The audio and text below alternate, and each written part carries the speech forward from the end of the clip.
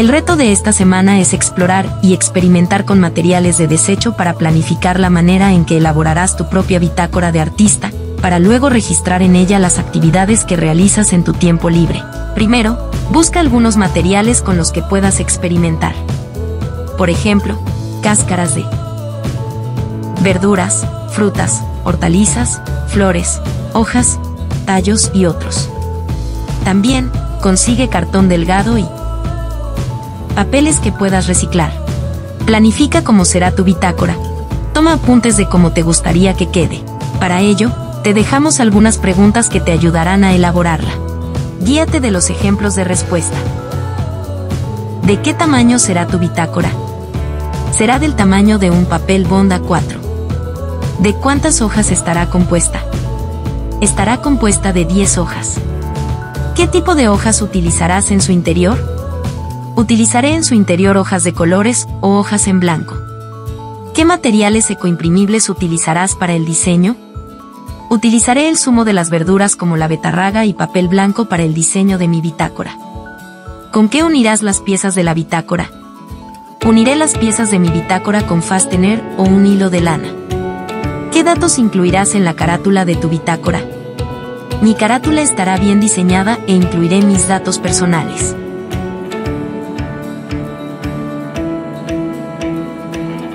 Comencemos con el proceso de elaboración.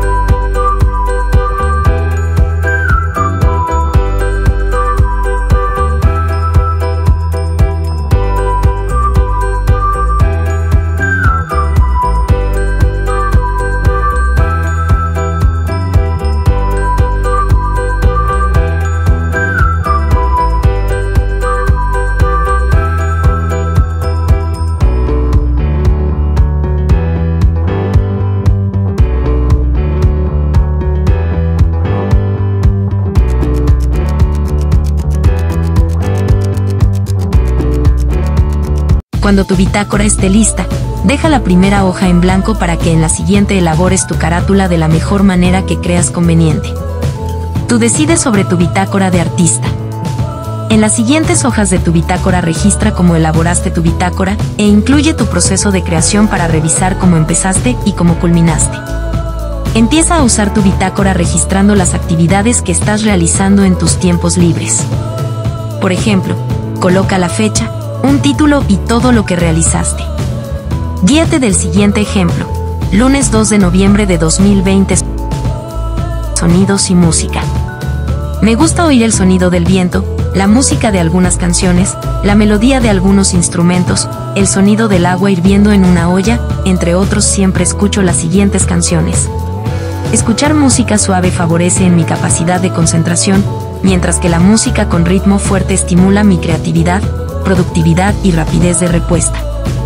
Ahora es tu turno. Elabora con mucha creatividad tu bitácora. Recuerda la próxima semana seguirás utilizando tu bitácora al realizar tu análisis crítico de una manifestación artística con el propósito de reflexionar sobre el uso de tu tiempo libre. Autoevaluación contesta las siguientes preguntas para reflexionar sobre lo que aprendiste en esta actividad. Guarda tus respuestas en tu portafolio. Preguntas. ¿Qué he aprendido al realizar esta actividad? ¿Cómo he superado mis dificultades? ¿Qué actividades que realizo en mi tiempo libre registraré en mi bitácora? ¿De qué me servirá registrar las actividades que realizo en mi tiempo libre?